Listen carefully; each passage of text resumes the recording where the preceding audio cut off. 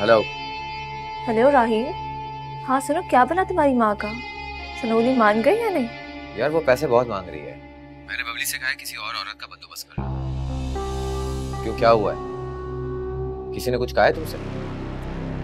यार राहिल क्या बताऊँ यार? बीनी से भी बात हुई है। वो बहुत दुआएँ कर रही है कि तुम्हारी मामा मान जाए। और तुम्हें पता है क्या? नमाजें भी पढ़ना शुरू कर दी है उसने।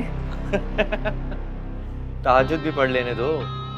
जितना इंतज़ार करेगी ना उतना ही हमारे हक में बेहतर मुश्किल से मिलने वाली चीज़ आसानी से नहीं गवाई जाती और कभी कभी तो इंसान गंवाने के डर से अपनी जान भी देने के लिए तैयार हो जाता है।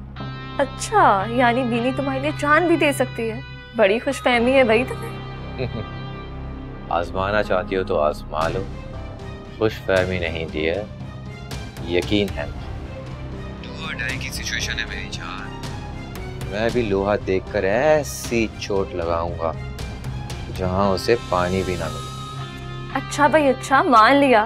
तुम्हें मुझसे बेहतर कौन जान सकता है? तो नमरी में तो पीएचडी कर रखी है तुमने।